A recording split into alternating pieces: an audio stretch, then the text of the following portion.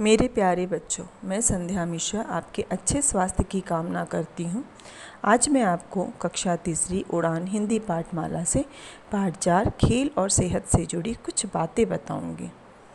बच्चों, खेल हमारे अच्छे स्वास्थ्य के लिए अत्यंत आवश्यक है। दूसरों को जब भी आप खेलते देखते हैं, आपका भी मन खेलने के लिए मचलता होगा। और भला क्यों ना मचले? खेलना किसे पसंद नहीं?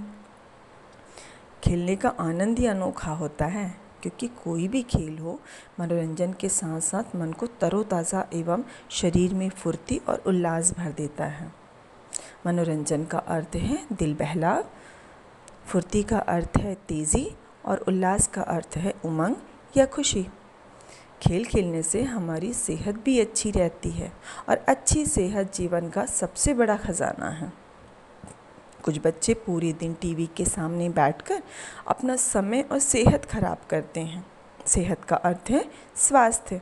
टीवी देखना बुरी बात नहीं है, लेकिन ज़्यादा टीवी देखना हमारी सेहत के लिए नुकसानदायक है। जब आप टीवी देखते हुए खाते हैं तो यह हमारे स्वास्थ्य पर बहुत बुरा प्रभाव डालता है और हम अपनी क्षमता से ज़्यादा खा लेते हैं और बीमार पड़ जाते हैं। ज़्यादा टीवी देखने के कारण ही हमारी आँखों की रोशनी कमज़ोर हो जाती है। छोटे छोटे बच्चों को चश्मे लग जाते हैं और हमें परेशानियों का सामना करना पड़ता है। जिस तरह शरीर को स्वस्थ रखने के लिए शुद्ध खाना पीना ज़रूरी है, उसी तरह शरीर को स्वस्थ रखने के लिए खेलना भी बहुत ज़रूरी है। कुछ बच्चे मैदान में जाकर खेलते हैं, कुछ बच्चे घर में रहकर खेलना पसंद करते हैं। कुछ बच्चे क्रिकेट, फुटबॉल, बैडमिंटन या दौड़ लगाने का खेल खेलते हैं।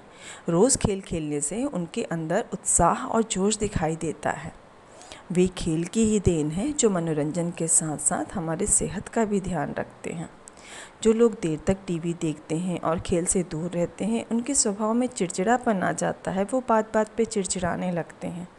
लेकिन जो खेल कूद और सैर करने की आदत डाल देते हैं, उनके चेहरे का नूर और प्रसन्नता हमेशा नज़र आता है।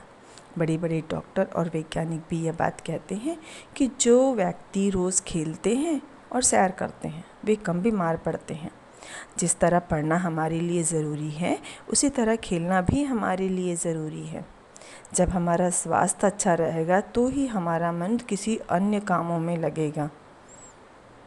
कोई भी काम शारीरिक हो या दिमागी बिना अच्छी सेहत के हम ठीक तरह से नहीं कर पाएँगे। आज सभी बच्चे मन में तय करो कि जिस तरह हम रोज़ स्कूल जाते हैं, उसी तरह हम रोज़ मैदान में खेलने जाया करेंगे। खेल हमारी सेहत और मनोरंजन दोनों का ख्याल रखता है। तो हमें भी खेलों को अपना जीवन साथी बनाना चाहिए। अपने जीवन में खेलों को शामिल करो। बच्चों, इस पाठ से हमें यह शिक्षा मिलती है, अच्छी सेहत जीवन का सबसे बड़ा ख़जाना है। और हमें अपने जीवन में उसे प्रभावी बनाना है और कोई ना कोई खेल खेलते रहना है। बच्चों, धन्यवाद।